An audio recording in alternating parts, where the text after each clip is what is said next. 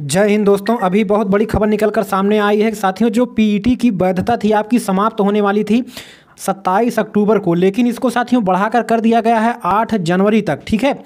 चलिए पूरा मामला देखते हैं क्या साथियों, ठीक है? आइए देखते हैं।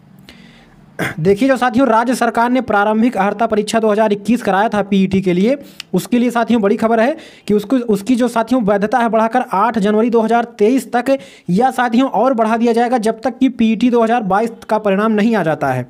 ठीक है?